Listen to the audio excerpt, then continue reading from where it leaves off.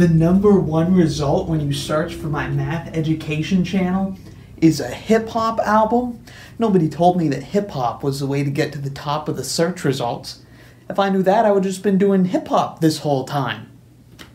Guess it's never too late, but maybe I should put on something cooler.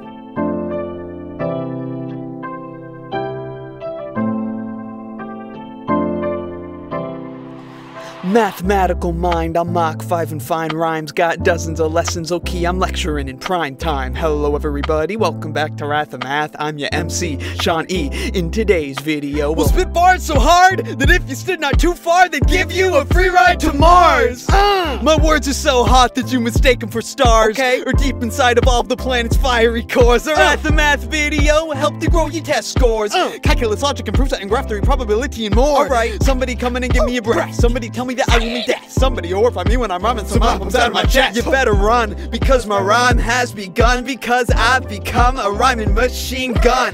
Call me homomorphic, I preserve the operation, operating at a legendary level of dictation. My fixation on connecting neurons where you least expecting. I'll be lecturing on how I love the sets of intersecting. Right. I'll be best in every denizen there in enough to step in, yeah. and I always got enough breath left to fit another reppin'. Feast your eyes on the OEIS sequence that I am reppin'. Oh. Proof by contradiction is a very formidable weapon. Oh, Let me demonstrate why it's a favorite of mine. We'll do a real quick proof that there are infinite primes. Suppose, on the contrary, that there are not. Then there are finite primes, say p0 through pn. Define a new number.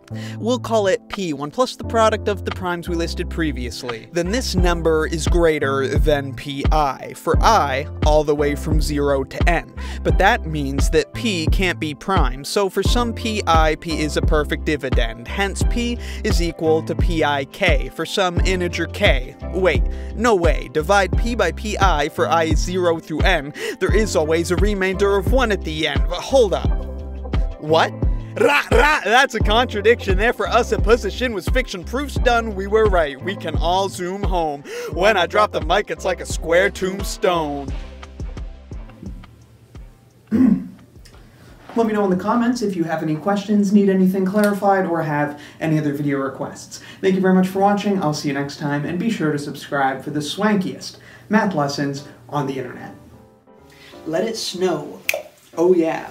Hey guys, thanks a lot for checking out this pretty goofy video. I've got a couple other stupid videos planned for the rest of the month, so I hope you look forward to those. We're having a crazy time during this jolly holiday season. You know, we, we so we're not talking about graph theory all month, because we got a couple stupid videos. We just can't have fun all the time. We gotta take a break now and then to appreciate the fun.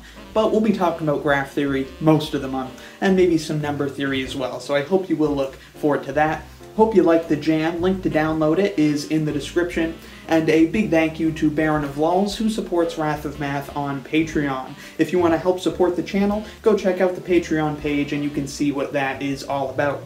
Also, a big thank you to Valo, who upon my request kindly gave me permission to use his music in my math lessons. And with all that said, I'll see you guys Monday. Situation's how you